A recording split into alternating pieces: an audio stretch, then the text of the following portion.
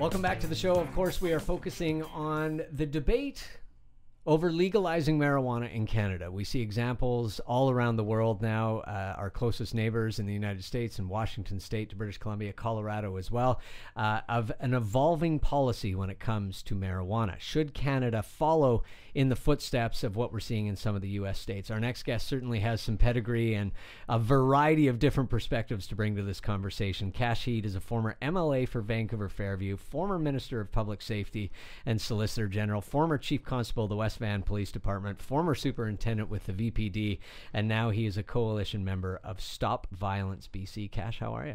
I'm fine. Pleasure to be on your show. Well, I really appreciate your time, and and like I say, boy, you have a lot of experience in in different areas of this. I mean, from policing to governance. Uh, why? First of all, tell us about Stop the Violence.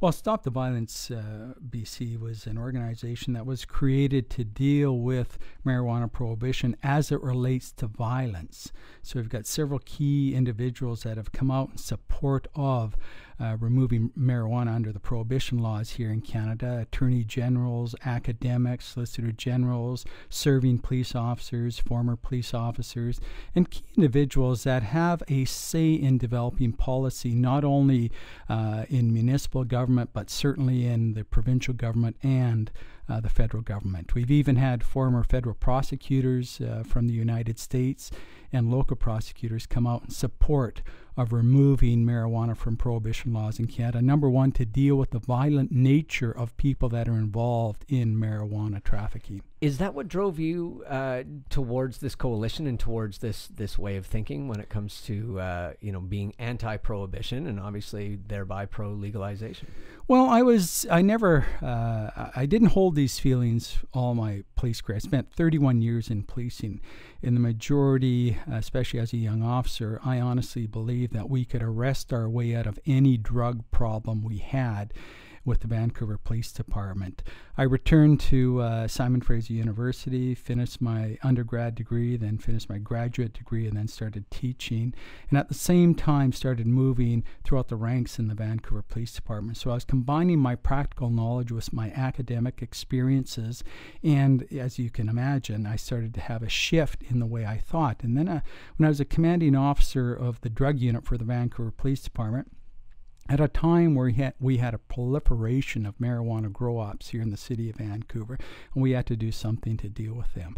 So I actually hold the record for the largest interdiction of supply of marijuana and arrests of individuals involved in drug trafficking in general than any other uh, uh, drug officer across this particular nation. And now, Kash, you might be responsible, or at least part of the voice that that changes all that. Absolutely, and and what really uh, made me shift my uh, way of thinking is when I testified in front of the Pierre Nolin, the Senate Commission in 2001. And I identified the flaws with prohibition, not only in Vancouver, but elsewhere in Canada, and why we had to look at a contemporary way of dealing with this particular situation. So that was the beginning, and that was 2001. So I spent the last 13 years trying to move from prohibition to a pragmatic policy around marijuana here in Canada. Uh, let's talk about that pragmatic policy. I mean, what does that look like to you? To someone with experience in this, obviously stopping the violence is, is a key component of it, but, but what does a pragmatic marijuana legislation and law look like? Legalization and regulation of the adult use of marijuana here in Canada. Now we have this taking place. Uruguay is the first country to outright legalize the adult use. Remember, we're talking about the adult use, not yes. uh, young kids being involved in this. Isn't that part of it as well? Is is when you regulate. Uh, you are trying to keep it away from the youth. That's that's one Absolutely. of the points because it's not right now. Mike, you're right on because I can tell you right now, our kids have easier access to marijuana than they do tobacco and alcohol Kash, based I've got on a 16 policies. year old. I know. I, she tells me. She knows. Uh, and it's it's a reality for teenagers. Well, I have a six year old girl, and I don't want her to have to go through what a lot of teenagers are experiencing right now. So I want to make sure that we are able to prevent our youth from trying any drugs to begin with, and not abusing drugs, not abusing alcohol and tobacco. So those are prevention programs that we have to put in place throughout our education system for our children right from kindergarten right to their uh, college years. So as we look around, I mean, you mentioned Uruguay, then you can look at Colorado now. Uh, Washington State is certainly getting close to uh, to beginning their full program. Uh, what is the model that you look at? I mean, is it like alcohol sales? Is it like cigarette sales? How do we regulate? Well, this? I've been following uh, what has occurred in the Netherlands and then what occurred in the United States with Colorado and Washington. And you know, in my opinion, they've moved further left than the Netherlands, right, uh, yeah. Colorado and Washington. Colorado, uh, their uh, regulation and legalization was driven primarily by the medicinal marijuana industry.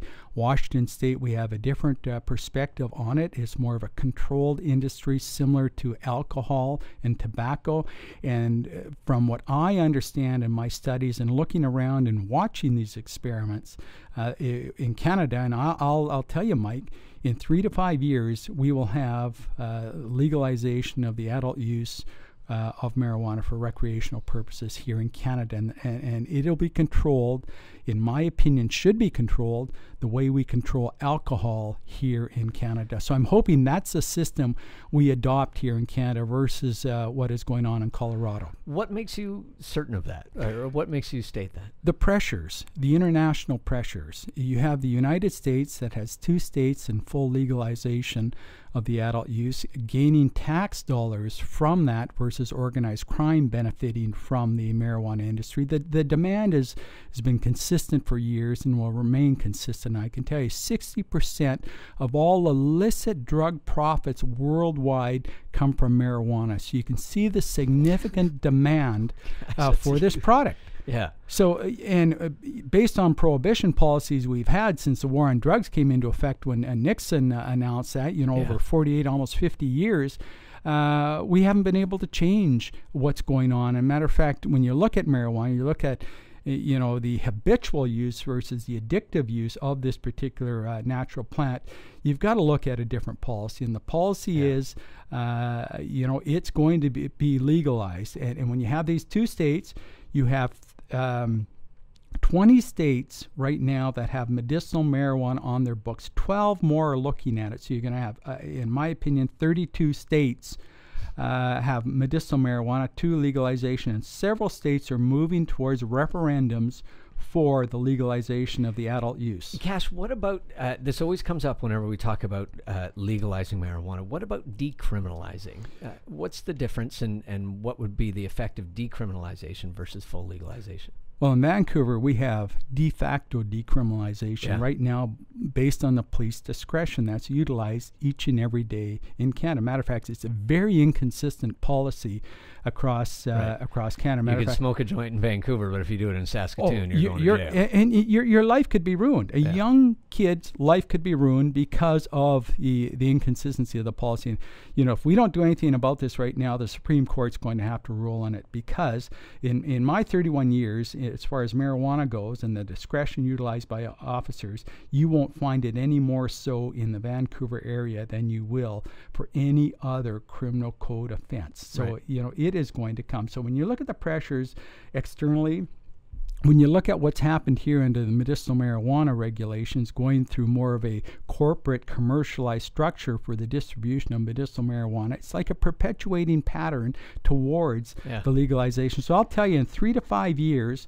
no matter who's in power, whether it's the Harper government, the Trudeau government, even the Mulcair government, uh, you are going to have, in my opinion, uh, in my estimation, a legalized market for the adult use. Well, and decriminalization also doesn't take care of one of those essential factors, which is getting the control away from gangs, people that are then using that money for violence, for for other drugs, for guns, for whatever. Well, absolutely. We we track the marijuana distributed from BC, you know, the famous BC bud, to markets down the United States.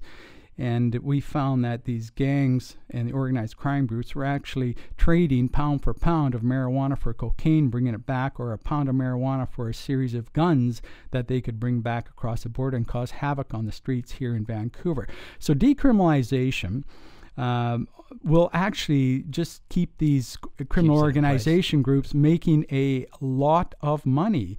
And we're still going to have to deal with the consequences of uh, marijuana prohibition laws, whether you go to decriminalization at all, without any benefit of tax dollars. When you look at Colorado and you look at Washington, they've earmarked where those tax dollars are going to go to. Schools and uh, healthcare, education. education, all those costly items uh, that we face here as citizens here in British Columbia. So we have to make sure that we're the ones, the citizens of BC, the citizens of Canada, are benefiting from it versus organized crime. Kash, a pleasure. Really appreciate your time today and thank you for your insights. My pleasure, Mike. All right, I'll talk to you in three years and we'll find out Yes. where we are. Take care. And on May 26th, it's your turn to have a say. Canadians talk marijuana on your local Corus station.